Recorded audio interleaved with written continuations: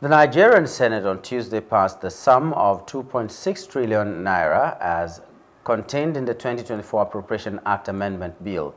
The bill was passed following the presentation of a report by the Chairman, Committee of Appropriation, Senator Adeola Olamilekan. He said the amendment for capital and recurrent expenditures made provisions for key infrastructure projects omitted in the 2024 Appropriation Act and the recently approved national minimum wage.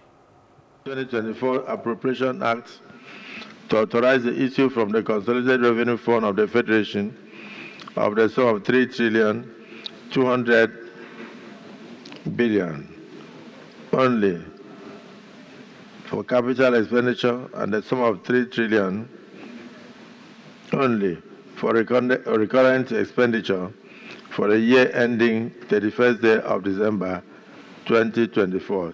Third reading taken and passed. And pray that the amendment will enable the country to reach its El Dorado and bring about a renewed hope and also stem the tide of, uh, of protests by the labor unions and particularly commend Mr. President for the agreement reached in this minimum wage saga.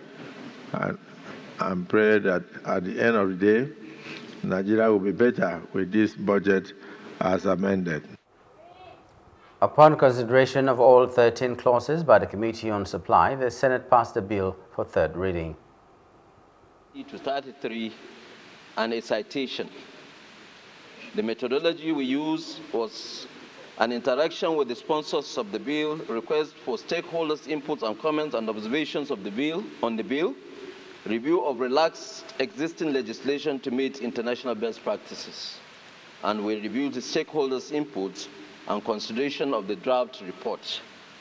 The objectives of the bill is to provide for the imposition of windfall profit levy and assessments and review of profits declaration for deferred payment agreements for financial institutions by Federal Inland Revenue Services. Similarly, the upper legislative chamber also passed a bill seeking to impose a one-time windfall tax on banks for foreign exchange gains. The bill was passed by the upper legislative chamber after Sani Musa, chair of the finance committee, presented a report.